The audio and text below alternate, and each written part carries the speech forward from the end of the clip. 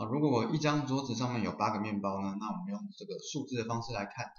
就是如果我有一张桌子，好，这边我用白色代表一张桌子，好，一张桌子上面有八个面包，所以说，呃，我等于就是因为一张桌子是八个面包的话，我有一张桌子，好，所以总共面包的数量呢就会是八个。再如果说我现在有两张桌子。刚好一张桌子呢可以摆满八个面包，两张桌子的话呢就会是呃八个面包，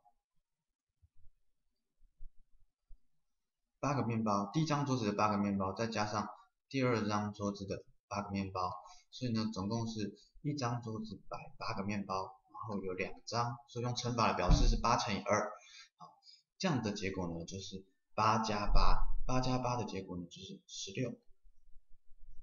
那如果有三张桌子呢？三张桌子的话，我们自然就是把每一张桌子的八个面包做相加，所以你会把它加三次，因为它有三张桌子。于是呢，这个结果就会是用乘法来表示呢，就是八乘以三。好，八乘以三就是一张桌子八个面包，有三张桌子。好图也一起表示一下，三张桌子，那这样的结果呢，就会是八加八等于十六，十六在前面八乘以二的时候已经写过了，那等于是这个十六的答案呢，后面再加上一个八，所以呢，也就是十六加八等于二十四，好，再来呢，如果我有四张桌子，四张桌子的时候呢，就是每一张桌子八个面包，然后加了四次。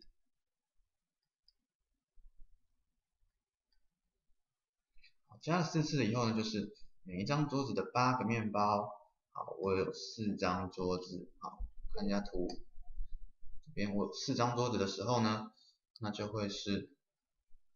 八加八等于十六，十六加八等于二十四，就是等于前面的这个八乘以三的部分二十四，后面最后再加了第四个第张第四张桌子的八个面包呢，那就会是二十四再加八。好，我写一下二十四。加上八就会等于三十二，好，也就是八的四倍，也就是三十二。好，如果呢再来是五张桌子的状态呢？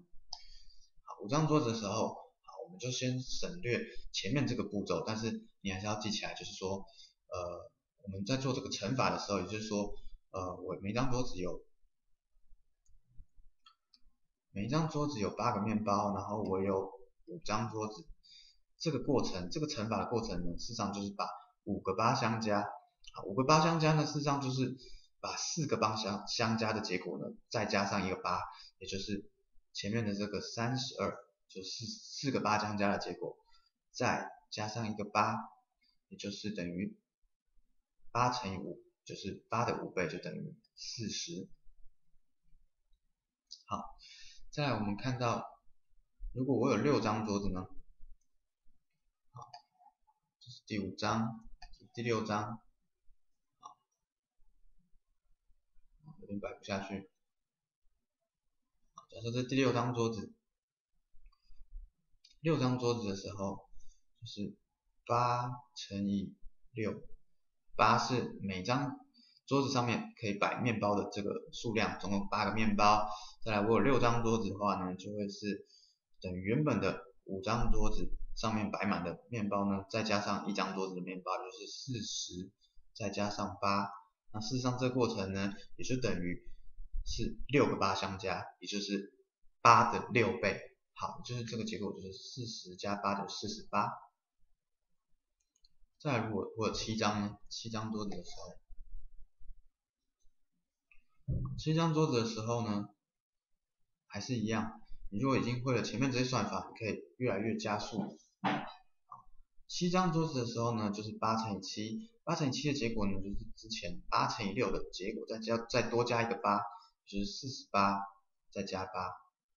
也就是七个八相加，七个八相加的结果，四十八加八等于五十六，好，这也就是八的七倍。再来呢，如果是八张桌子，八张桌子的时候。八张桌子的时候呢，就是等于